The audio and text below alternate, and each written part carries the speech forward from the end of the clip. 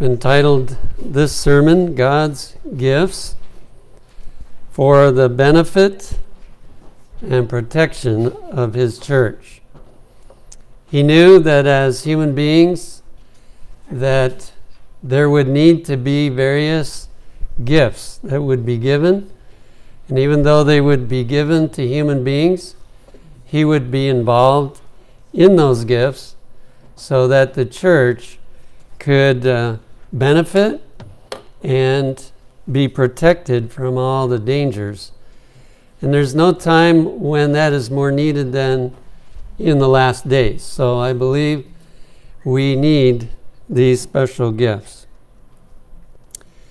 In Ephesians 4, verse 11, it gives a short list, and he gave some apostles, and some prophets, and some evangelists, and some pastors and teachers. But probably a more complete list is found in 1 Corinthians 12, verse 28. It says, And God has set some in the church, first, apostles, secondarily, prophets, thirdly, teachers. After that, miracles. Then, gifts of healings, helps, governments, diversities of tongues. One of them that we had a worker at Youth for Jesus, she was a volunteer, a mother of one of the young people, and she told me, I feel I've had the gift of helps. And wow, was she a help. No matter what we needed, she was willing to do it. She was willing to help cook, she was willing to drive, she was willing to pick up things at the store. Uh, just whatever was needed, what a blessing it was. And so all of these are important, and we don't really have time to talk about all of them. But let's look at the list, kind of, you know, condensing it into one list. What are the gifts that were given for the church? Well, he makes it clear in 1 Corinthians that the most important gift is the gift of being an apostle. And when you really think about it, the 12 apostles and the others that came along who were called apostles, what a tremendous blessing that has been for the Christian church ever since that time. The second one he mentions is prophets. And uh, again, tremendous blessing. What if we hadn't had all the prophets down through the ages? And suppose we were just missing one prophet, the last one. We'd really be in bad condition. And so God has really blessed the church with those gifts. Then there's kind of a group of individuals that could probably go under the heading of teachers. But also, they can be called a pastor, they could be called an evangelist. Those are to instruct the church, and God uh, works through them to instruct and to reach the people outside of the church as well. Then we have uh, miracle workers, and we do still hear about miracles. I think that we hear about it less in the United States than we do in some other countries. But nonetheless, that was supposed to be a part of the church. There are times when miracle is needed. It's the only solution to the problem. And God has said, I will uh, give the church miracle workers. Then most of us probably have been blessed by someone that had the gift of healing. It's, in a sense, a slow miracle when we're healed by natural means, but it's still a miracle. And so uh, God gives special wisdom to some people They just seem to know exactly what to do that's going to bring about healing. And what a blessing they are to the rest of us. And then the gift of helping. You may not have uh, your own specific area, but you have been given an enjoyment, uh, the desire to help those that do have a specific area to carry out the work. And no one person can accomplish everything that needs to be done. Then we have the gift of governing, management. You know, I haven't given up the idea of a center down in Trenton that's there every day. But I have been praying for somebody with the gift of management because without that, it will cost too much and it will fail anyway. But God has promised that He put in the church people who have the gift of management. They can govern, they can, uh, you know, face all the decisions that have to be made and make uh, good decisions. and another one is the gift of speaking languages. we uh, actually could use that gift in the United States more than we used to because there are various groups that have come to the U.S. and they're not able to speak the language well.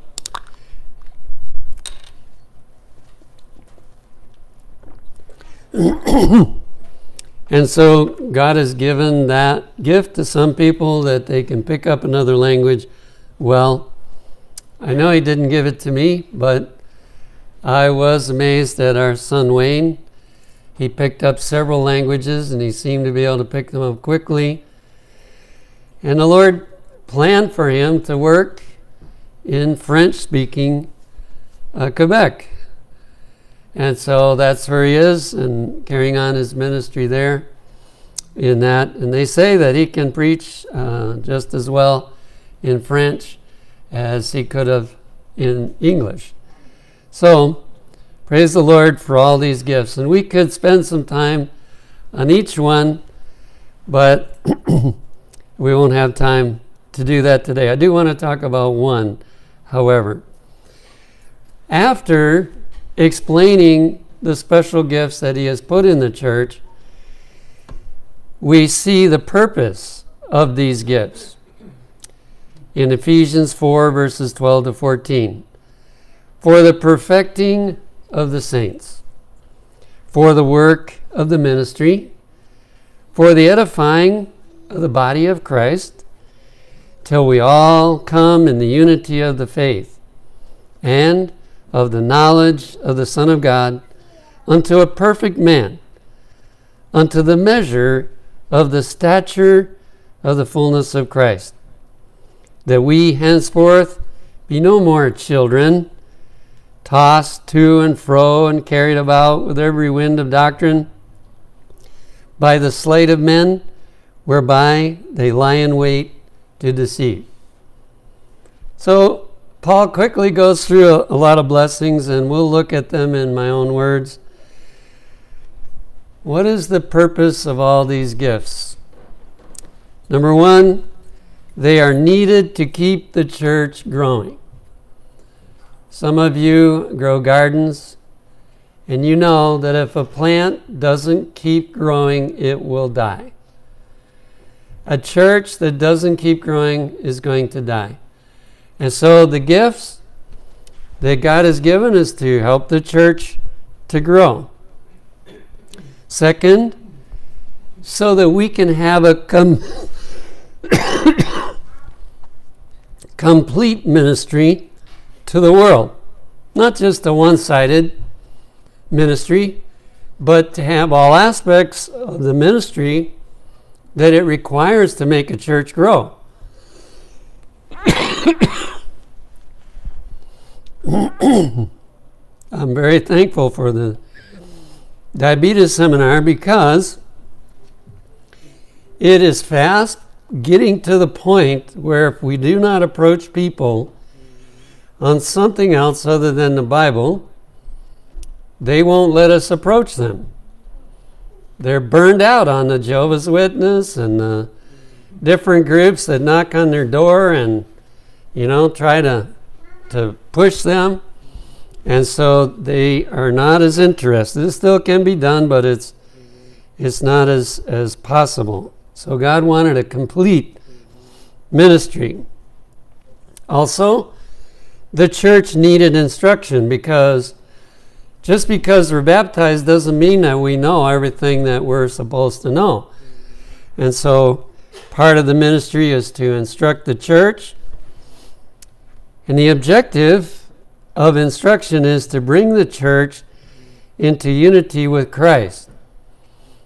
When we are unified with Jesus, we're unified with each other. So we get both of the blessings through the gifts that God has given to bring about this uh, unity with Jesus. Number five, to become mature Christians, not to stay as children, uh, just getting started in the Christian life, but to become mature Christians and actually to become fully like Jesus is the purpose. And the last one, to protect us against heresy. And those are on the increase. And sad to say, we're at a day where you can even hear heresy from the pulpit. Um, so, you know, that's the least place we would expect it to happen to have someone uh, preaching at our church and presenting heresy, but it is happening today. So, God had a plan to protect against all those things, and He set up all these gifts so that the church could really accomplish its mission. Out of that list, I want to talk to you about one. Now, I'm not talking to you about this because I think somebody here has got a problem in this area. But while I was away, I read a very interesting chapter about the work of the pastor. And in some respects, it opened my eyes to some things, and uh, I thought maybe it would be of help to some of you as well. In the fifth testimonies, page 298, it says, Many do not look upon preaching as Christ's appointed means of instructing his people and therefore always to be what? Highly prized. You know, I was uh, blessed by my mother's practice. When she heard a sermon, she always took notes on the sermon.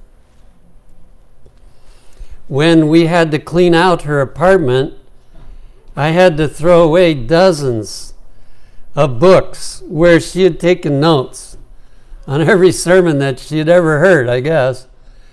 And if she didn't have a book with her, she just took a piece of paper and took notes.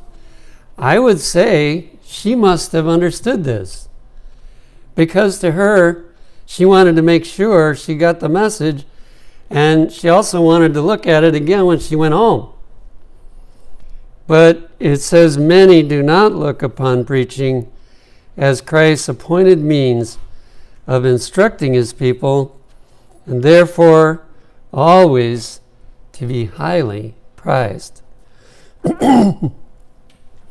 they do not feel that the sermon is the word of the Lord to them and estimated by the value of the truths spoken but they judge it as they would the speech of a lawyer at the bar.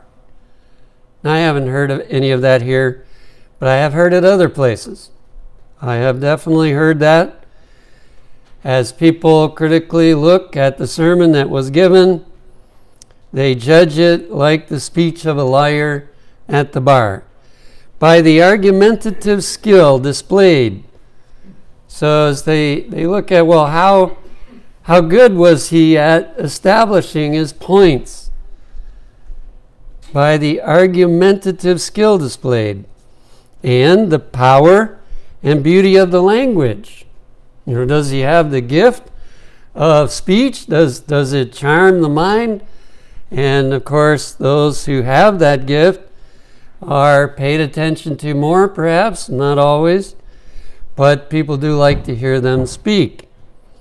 The minister is not infallible, but God has honored him by making him his messenger. So God doesn't want us to go into either ditch on this. He doesn't want us to think that the minister cannot make a mistake, cannot say something that's not correct.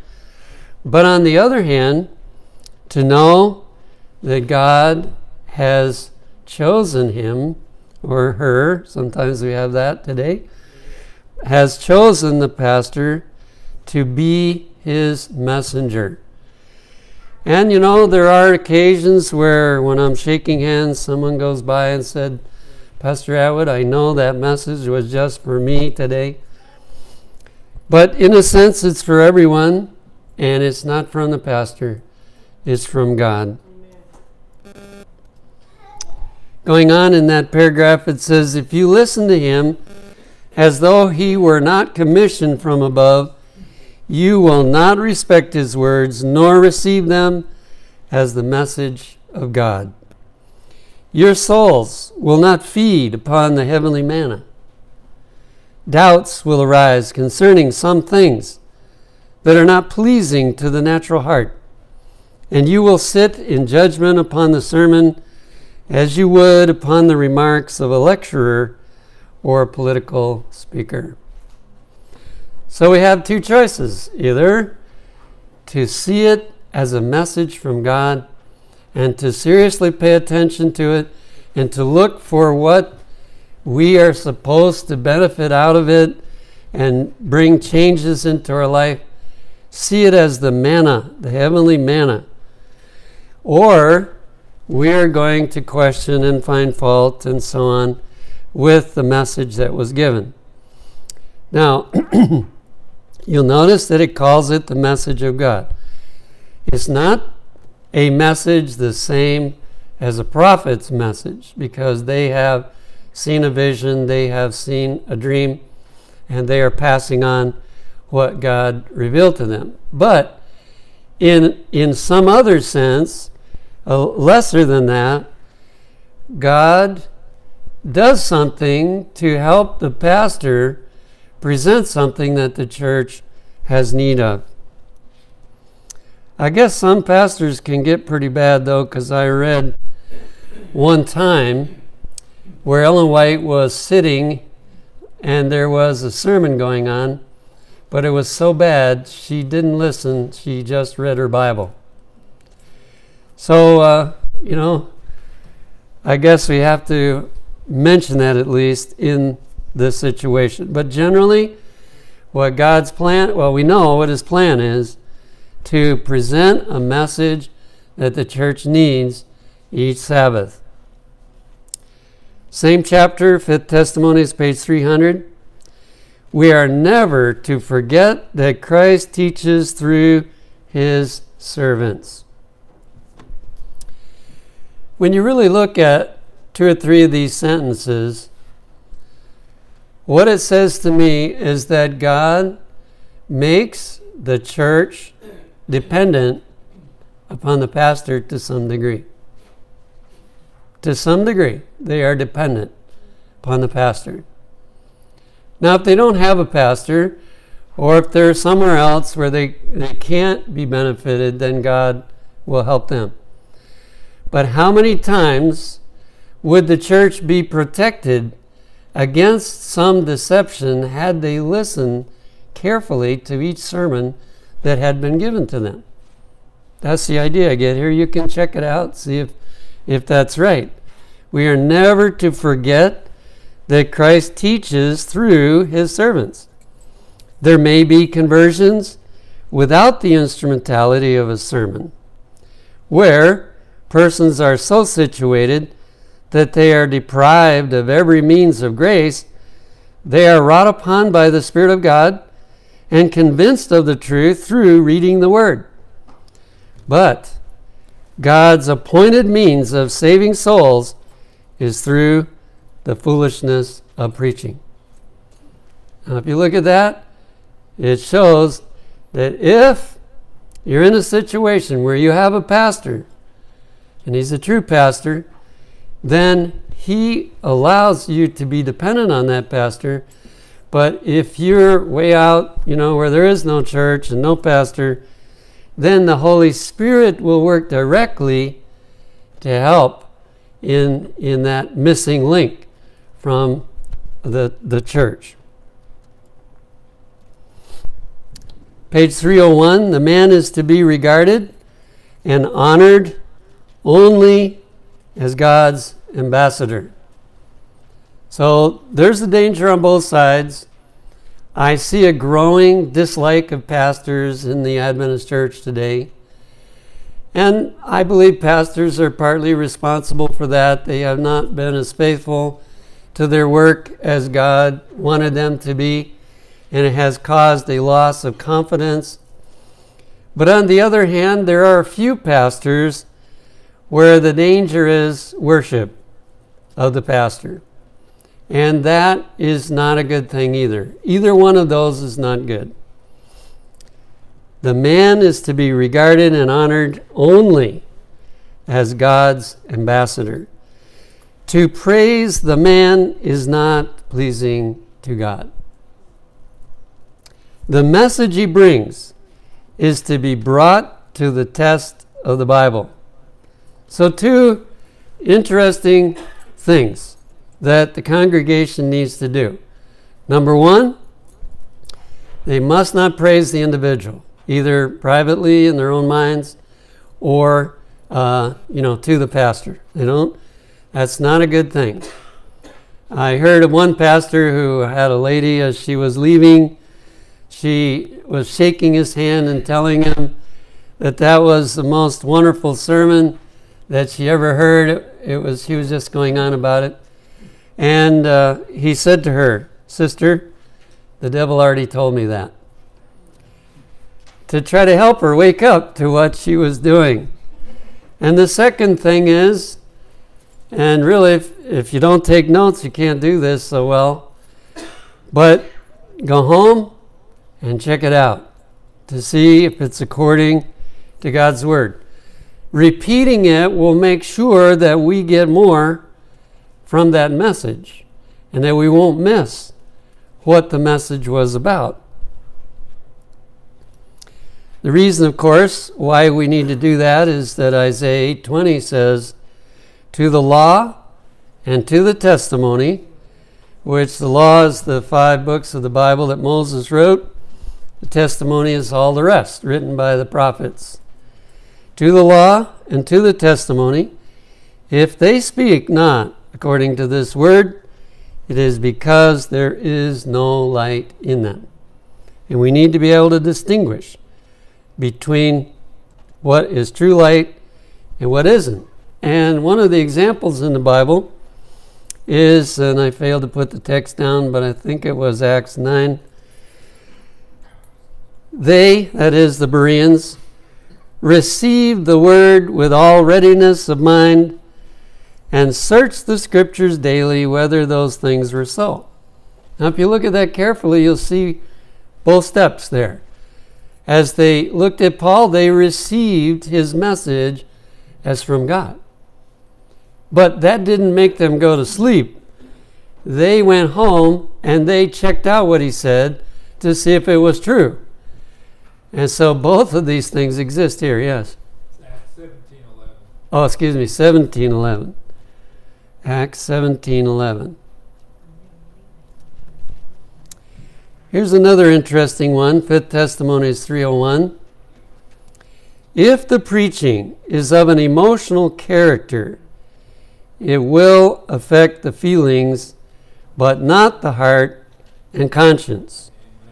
Now, you won't get emotional sermons from me.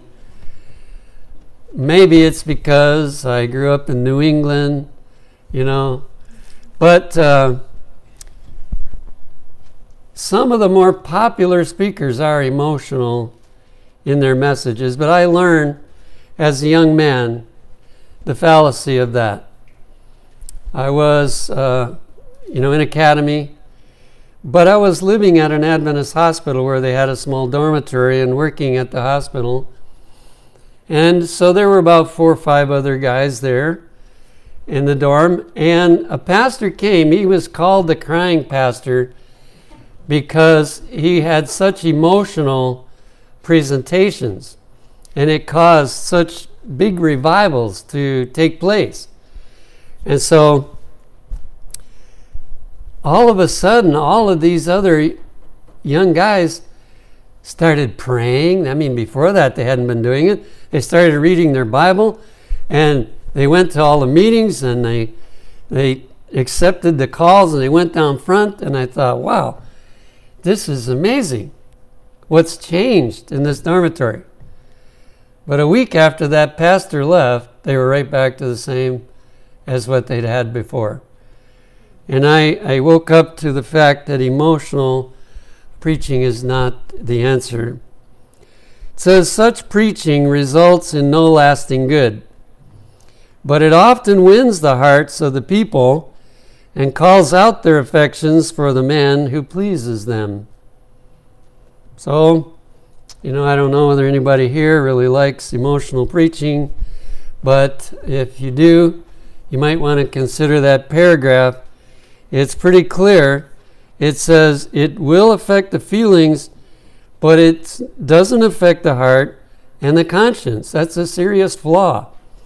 And also, it calls out their affections for the human instrument, but it doesn't have any lasting good to it. And so God is asking pastors not to be like that and asking us to realize that that's not the best.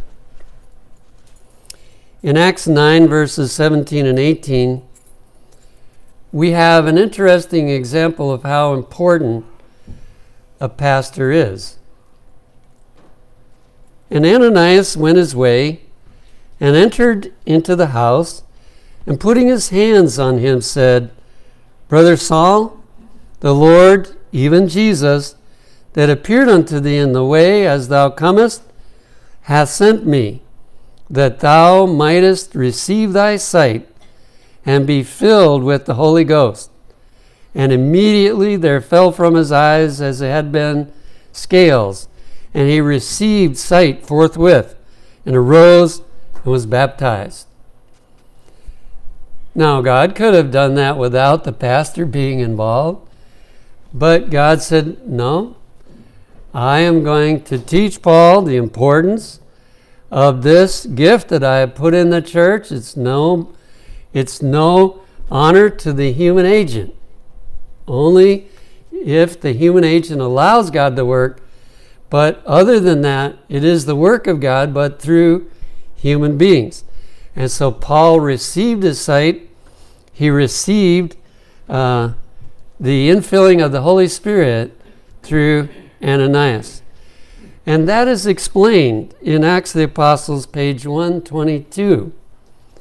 When, in the midst of his blind error and prejudice, Saul was given a revelation of the Christ whom he was persecuting, he was placed in direct communication with the church, which is the light of the world. And you've probably heard mission stories where an angel came and talked to some tribal leader, but what did the angel do? The angel sent him to see a Seventh day Adventist and to be connected with the church. In this case, Ananias represents Christ and also represents Christ's ministers upon the earth, who are appointed to act in his stead. So Ananias was performing a responsibility, and it was in the absence of Jesus, he was given this responsibility. In Christ's stead, Ananias touches the eyes of Saul that he may receive sight. In Christ's stead, he places his hands upon him, and as he prays in Christ's name, Saul receives the Holy Ghost. All is done in the name and by the authority of Christ. You see, not the individual. And that's one thing that pastors need to remember constantly because if people do praise them, they are in danger of forgetting all is done in the name and by the authority of Christ. Christ is the fountain, the church is the channel of communication. And yet, he uses those ministries that we uh, read about. Oops.